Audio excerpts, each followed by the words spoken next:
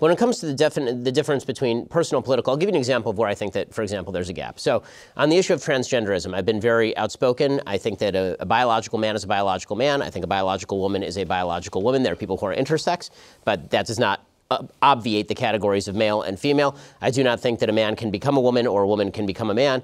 Uh, and if a man wants to identify as a woman, I think that that is factually incorrect. Uh, my, my view of that is that that's a mental disorder. Now, if I'm at dinner with a person who is transgender, I will call them by their preferred pronoun because what's the point in offending the person? The person's still a person. I wouldn't go out of my way to insult somebody who I'm at dinner with. But if I'm speaking publicly about Caitlyn Jenner, for example, I will say that Caitlyn Jenner is a man and I will call him by his biological pronouns. The reason for that is because in the dinner situation, my target audience is the person with whom I'm speaking. That's the person with whom I'm forming a relationship. Mm-hmm. In the political world, the target audience is not Caitlyn Jenner. I'm not speaking to Caitlyn Jenner. I'm speaking to the audience writ large about a scientific issue that has some ramifications for, for public policy. I'm not sure how to bridge that gap when people suggest that we ought to discuss public policy as though it were personal. We should, uh, we, we should pretend that scientific facts don't exist in order to not offend, for example.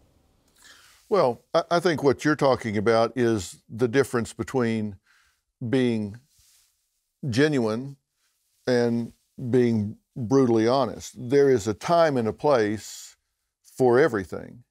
And the time and the place for you to air your scientific based political agenda doesn't have to be at dinner. I mean, there's a time where that fits, and there's a time where you're in that mode and you can say what you want. But is that appropriate um, at dinner? Uh, and if you feel uncomfortable with not being consistent with your scientific belief, then don't get in that situation. But it's kind of like my wife tells me at home don't you Dr. Phil me.